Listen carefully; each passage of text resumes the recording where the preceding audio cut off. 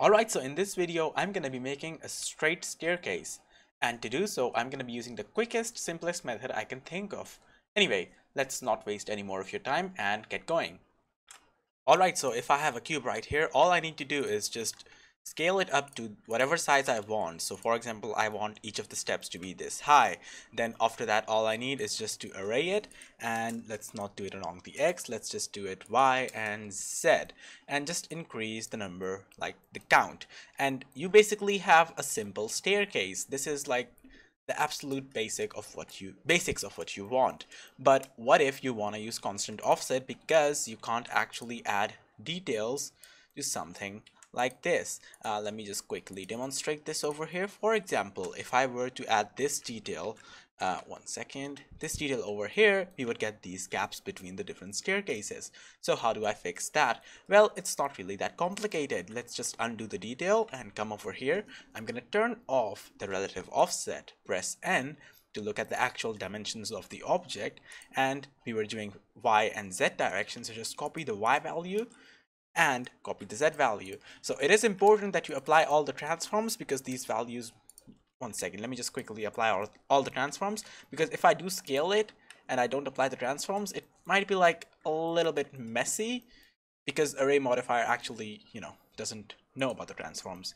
Anyway, let's not waste any more time on that. And now we can easily just, one second.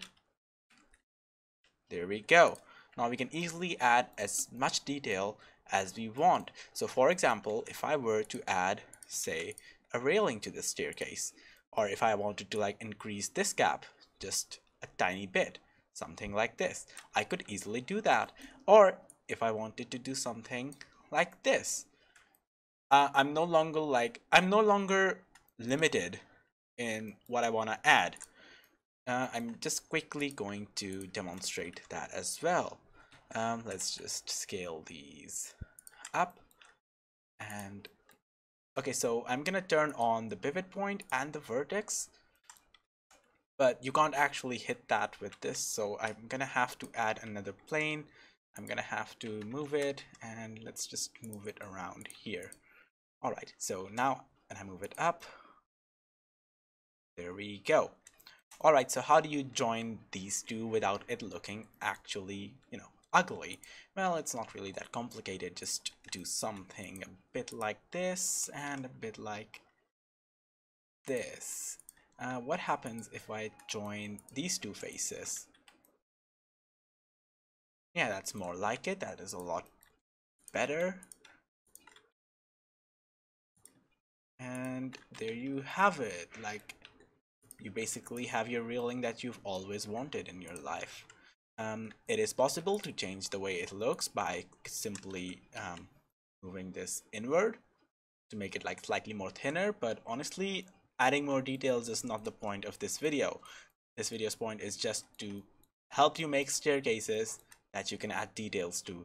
I will do a separate video with like more details in the future. So yeah thanks for watching and goodbye Alright, so if you liked the video, feel free to subscribe and leave a comment. If you didn't like it, still leave a comment. Let me know how I can improve my future videos. Thank you!